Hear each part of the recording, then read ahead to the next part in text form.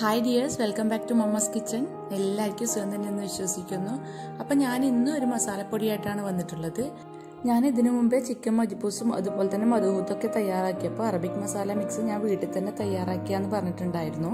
അപ്പോൾ ഇന്നലത്തെ എന്റെ ഗരം മസാലയുടെ വീഡിയോ കണ്ടപ്പോൾ കുറേ ഫ്രണ്ട്സ് എന്നോട് പറഞ്ഞു അങ്ങനെയാണെങ്കിൽ അറബിക് സ്പൈസസിന്റെ മിക്സ് കൂടെ ഒന്ന് പറഞ്ഞുതരാമോ എന്ന് അതുകൊണ്ടാണ് ഞാൻ ഈ വീഡിയോ തയ്യാറാക്കിയത്.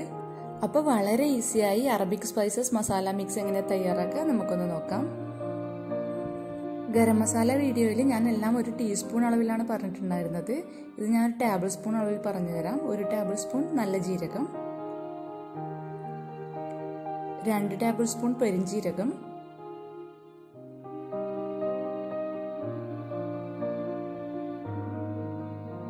രണ്ട് ടേബിൾ സ്പൂൺ മല്ലി. ഒരു ടേബിൾ സ്പൂൺ കുരുമുളക്. ഒരു ടേബിൾ സ്പൂൺ തക്കോലം ഒരു ടേബിൾ സ്പൂൺ ഗ്രാമ്പു ഒരു ടേബിൾ സ്പൂൺ ഏലക്ക ഒരു നാല് വലിയ പട്ടയില ഒരു ടേബിൾ സ്പൂൺ പട്ട ഒരു ഉണക്കനാരങ്ങ ഒരു ജാതിക്ക ഒരു ടേബിൾ സ്പൂൺ ജാതിപത്രി ഒരു ടേബിൾ സ്പൂൺ ചുക്ക് പിന്നെ ഒരു ആറ് വറ്റൽമുളക്. എന്റെ കയ്യിൽ വറ്റൽമുളക് ഇല്ലാത്തതുകൊണ്ട് ഞാൻ ഒരു ടേബിൾ സ്പൂൺ ചില്ലി ഫ്ലേക്സ് ആണ് എടുത്തിട്ടുള്ളത്. പിന്നെ ഒരു ടേബിൾ സ്പൂൺ മഞ്ഞളാണ് വേണ്ടത്. മഞ്ഞൾ എന്റെ കയ്യിൽ പൊടിയായിട്ടാണുള്ളത്. അതുകൊണ്ട് ഞാൻ ഇതിപ്പോൾ ചേർത്ത് കൊടുക്കുന്നില്ല. നമ്മുടെ മസാലയൊക്കെ ഒന്ന് മൂത്ത് പൊട്ടി വന്നതിന് ശേഷമാണ് ചേർത്ത് കൊടുക്കുന്നത്. അല്ലെങ്കിൽ മസാല പെട്ടെന്ന് കരിഞ്ഞു പോകാൻ സാധ്യതയുണ്ട്. ഇനി ഇതെല്ലാം ഒരു പാനിലേക്കിട്ട് ലോ ഫ്ലെയിമിലിട്ടിട്ട് ഒന്ന് മൂപ്പിച്ചെടുക്കാം. ഇതിൽ വലിപ്പം കൂടിയ സ്പൈസസ് ആയ ഡ്രൈഡ് ലെമൺ ഡ്രൈഡ് ജിഞ്ചർ അതുപോലെ തന്നെ നട്ട്മിൽക്ക് ഇതൊക്കെ ഒന്ന് പൊട്ടിച്ചിട്ട് കൊടുക്കുന്നത് നല്ലതാണ്. അപ്പോൾ എല്ലാം ഒരുപോലെ തന്നെ പെട്ടെന്ന് റോസ്റ്റായി കിട്ടും.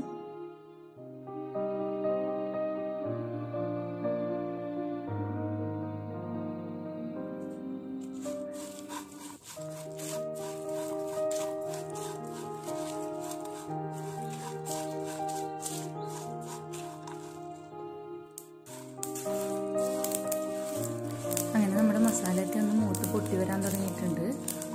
മുഴുവനായിട്ടും ഒന്ന് പൊട്ടി കിട്ടണം.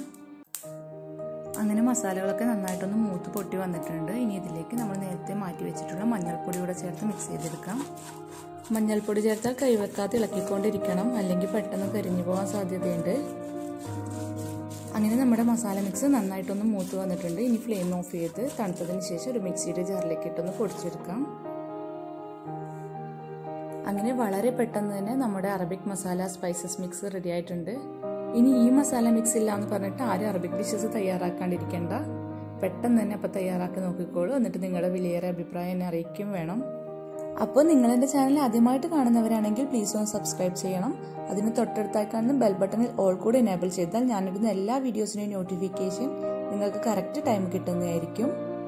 നിങ്ങൾക്ക് എന്റെ വീഡിയോ ഇഷ്ടപ്പെട്ടെങ്കിൽ ലൈക്ക് ചെയ്യുക കമന്റ് ചെയ്യുക ഫ്രണ്ട്സിനും ഫാമിലിക്കും ഷെയർ ചെയ്യുക. ഇൻഷാല്ല പുതിയ റെസിപ്പീസുമായി ഞാൻ വീണ്ടും വരും. Thanks for watching